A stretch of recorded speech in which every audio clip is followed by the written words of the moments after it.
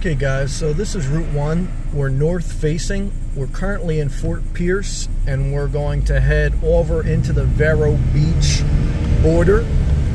So, this is northern Fort Pierce, which is kind of away from the heart of Fort Pierce, which tends to be a bad area with a high crime. There's pockets of Fort Pierce that are positive, but there's also the core middle of Fort Pierce could be very negative with high crime. Uh, but this is towards the borderline of Vero Beach, and it's on Route 1, so it's not densely populated.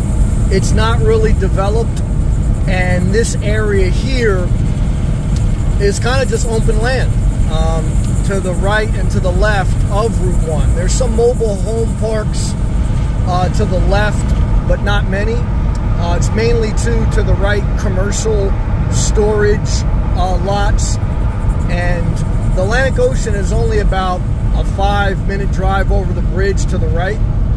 With this area of Florida, Fort Pierce, and then we'll head into Vero Beach, this section is not that developed uh, on Route 1. Again, if I go more west, if I made a left, then it's more developed.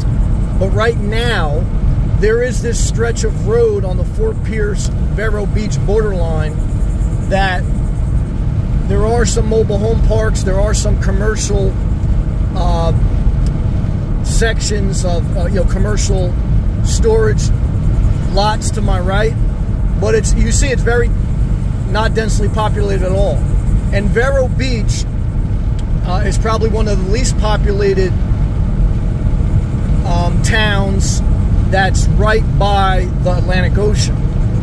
And the only Vero Beach has a lot of positive. The positive is it's not overdeveloped.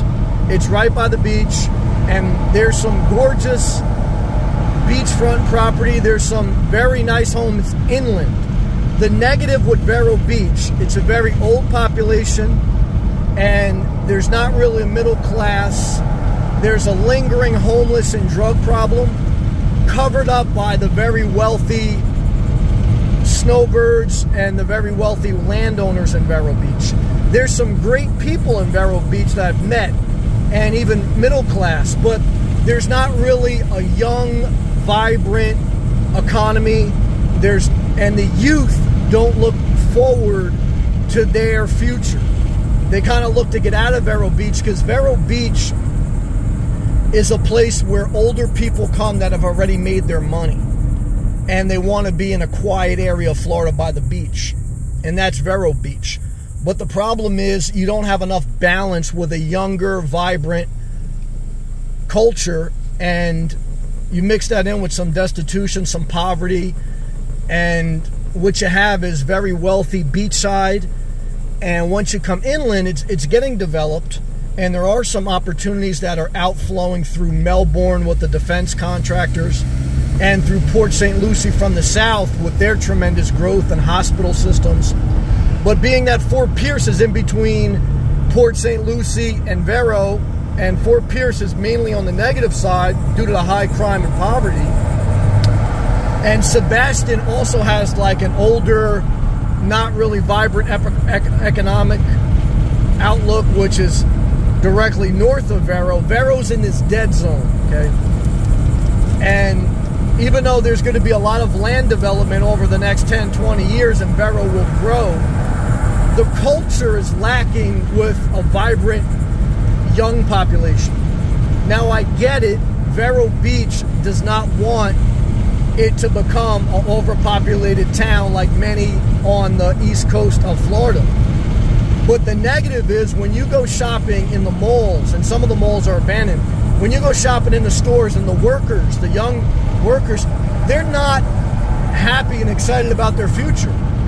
On average, they're nice, there's nice people here, eh, it's overall very safe, but when it's just old money and most of it came from another state and you don't have the young or the middle class, you feel an emptiness. It's quiet, it's peaceful.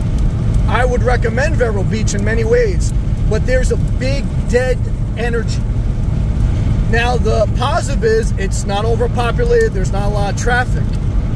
And that's rare to be by the beach in somewhat of southern Florida, even though you're right by the central part of Florida. So the trade off is you're going to have a peaceful community in Vero Beach that's underdeveloped. But, but unless you're old and you brought your money, you're not going to have energy and opportunity. And when you're old, who takes care of you? The young next generation. Well, the hospitals here, if you look at the ratings, are very low. And the workers in the service industry are not that excited because they don't see much of a future. So the negative is you brought your money, you're going to retire in a peaceful community, but you're not going to see the energy of the next generation. They're not going to be enthusiastic to be your caretaker, to serve you your goods, because what about their future? They got to go somewhere else to get it. Versus Port St. Lucie now, you can kind of develop your future there. Versus Melbourne, you can get into, you know, the aerospace defense contractor. There's a future there. Vero is this dead zone. And in one way, I'm attracted to it, like many people, because it's not overpopulated.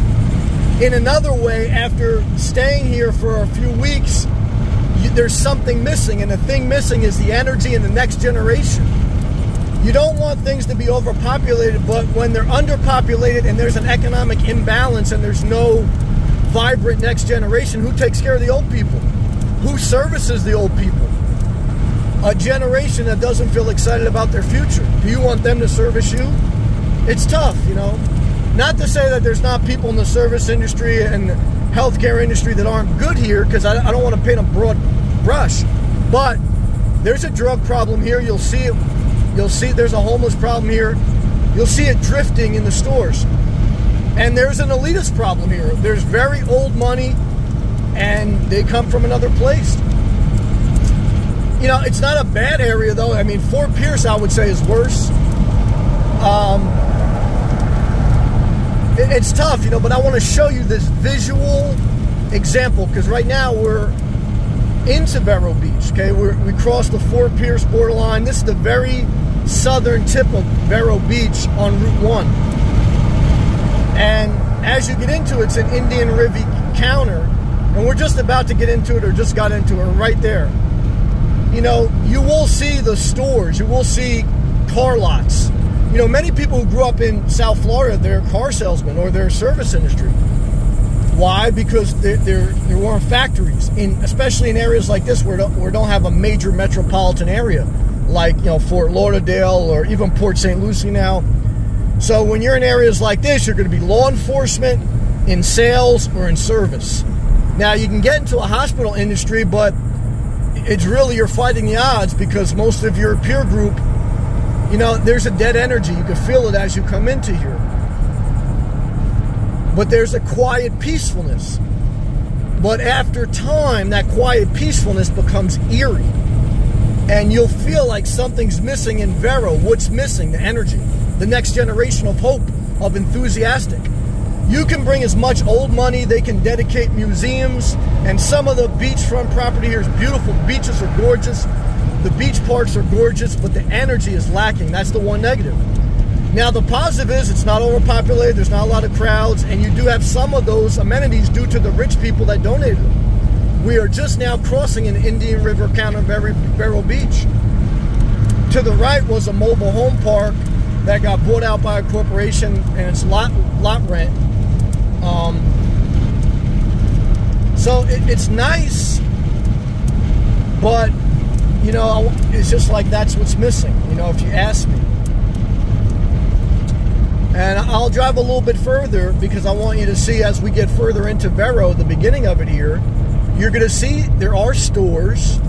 They're they're modern and they're nice. I mean, but there is, you know, if I turn into some of these supermarkets, there are homeless. There is some drug problem. You know, not tremendous, but you'll notice it if you spend time here. Okay. Um, now, if you spend time here, you know you're and um, who who is it? Uh, the lady from Miami Sound Machine. She has like a a beachfront hotel. It's gorgeous. The beachfront is gorgeous. They call it like the Hamptons, but like the Hamptons, Hamptons is low energy, and it's you feel the peace here in Vero. You feel it. And you, it's almost like, oh, I love it. But after a period of time, you feel dead here. Why? Because there's no energy. And that's that's the hate and the love relationship with Vero Beach. Fort Pierce, you know, again, it, there's too dense, it's too much crime. There's some nice areas. Sebastian is very similar to Vero. And you know, that that's the issue, you know, like Palm Beach County, Jupiter, Florida, gorgeous, very expensive, and it is very populated now. Port St. Lucie, you know, is, is, is pretty well balanced. And that's why you see a lot of people going there because now you do have tremendous opportunity there, not just to retire, but to work. And even, you know, you can commute. But when you get, this is like an hour north of Port St. Lucie. Once you get like an hour north of that, you're in this dead zone where you either brought your money or you, are young and you don't feel encouraged about your future. You're gonna have to, you're gonna have to graduate high school and get the hell out of here. And you know, it's not just that it's not a lot of nightlife. They always say, well, people don't like Vero Beach because not a lot of nightlife. Well, they also don't like it because they don't feel the next generation doesn't see what their future will be. They don't have examples. The next generation only has example of rich people that came here to retire or older people that came here to retire, and they're servicing them. And that brings a little bit of an angst. You know, not a tension, uh, not a horrible area. You would do well in Vero Beach, but there's a little bit of an empty soul in Vero Beach because of this reason. You know, like if I turn off into this McDonald's and Publix, it's not a modern McDonald's, not a modern Publix, okay? And you know, there's working class people here that do HVAC, plumbing, um, okay, um, car salesman right across the street, but it's not vibrant.